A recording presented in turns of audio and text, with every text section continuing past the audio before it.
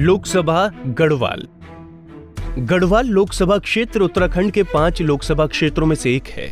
आज़ादी के बाद जब देश में पहली बार लोकसभा के चुनाव हुए तो उस गढ़वाल लोकसभा भी अस्तित्व में आ चुका था। इस सीट पर साल उन्नीस से 1977 तक लगातार कांग्रेस का कब्जा रहा। गढ़वाल लोकसभा क्षेत्र के अंतर्गत कुल चौदह विधानसभा सीटें आती हैं।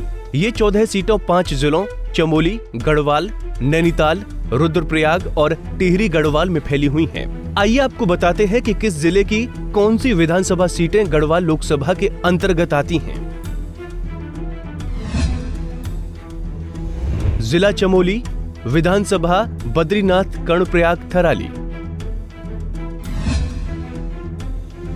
जिला गढ़वाल, विधानसभा, चौबट्टा खाल, कोटद्वार लेंसडाउन पौड़ी, श्रीनगर, यमकेश्वर। जिला नैनीताल, विधानसभा, रामनगर। जिला रुद्रप्रयाग, विधानसभा, केदारनाथ, रुद्रप्रयाग।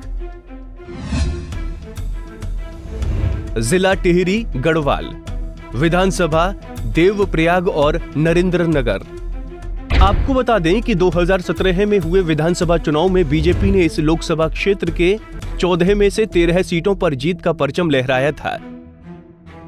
जबकि मात्र केदारनाथ विधानसभा पर कांग्रेस का कब्जा हुआ था।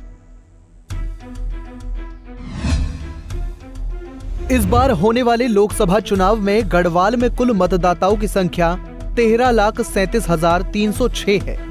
जिसमें पुरुष मतदाताओं की संख्या छह लाख अट्ठानवे हज़ार नौ सौ इक्यासी, महिला मतदाताओं की संख्या छह लाख तिरासी हज़ार तीन सौ ग्यारह और ट्रांसजेंडर के कुल चौदह मतदाता शामिल हैं।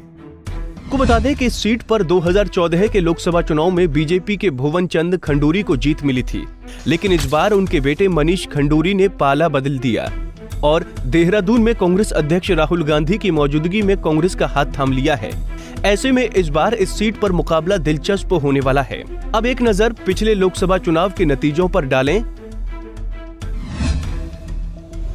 तो साल 2014 में इस सीट पर बीजेपी के भुवन चंद खंडूरी ने चार लाख पाँच हज़ार छह सौ नब्बे वोट हासिल कर जीत का परचम लहराया था। तो वहीं कांग्रेस के हरक सिंह रावत दो लाख इक्कीस हज़ार एक सौ चौसठ वोट हासिल कर दूसरे स्थान पर रहे थे। जबकि बहुजन समाज पार्टी के धीर सिंह को महज 9,250 वोट मिले थे और वो तीसरे स्थान पर रहे। साल 2009 में हुए लोकसभा चुनाव पर नज़र डालें तो कांग्रेस के सतपाल महाराज ने दो लाख छत्तीस हज़ार नौ सौ उनचास वोट हासिल कर जीत का परचम लहराया था। तो वहीं बीजेपी के तेजपाल सिंह रावत दो लाख उन्नीस हज़ार पाँच सौ बावन वोट हासिल कर। दूसरे स्थान पर रहे थे, जबकि बीएसपी के राजीव आगा को महज चौंतीस वोट मिले थे और वो तीसरे स्थान पर रहे थे। साल 2004 में हुए लोकसभा चुनाव पर नज़र डालें तो बीजेपी के भुवन चंद्र खंडूरी ने दो लाख पिछहत्तर हज़ार सात सौ छब्बीस वोट हासिल कर जीत का परचम लहराया था। तो वहीं कांग्रेस के तेजपाल सिंह रावत दो लाख छह हज़ार सात सौ चौसठ वोट हासिल कर दूसरे स्थान पर थे। जबकि बीएसपी के प्रोफेसर बी एस सेमवाल को महज दस हज़ार चार सौ दस वोट मिले थे और वो तीसरे स्थान पर थे। Bureau report, Punjab Kesari TV.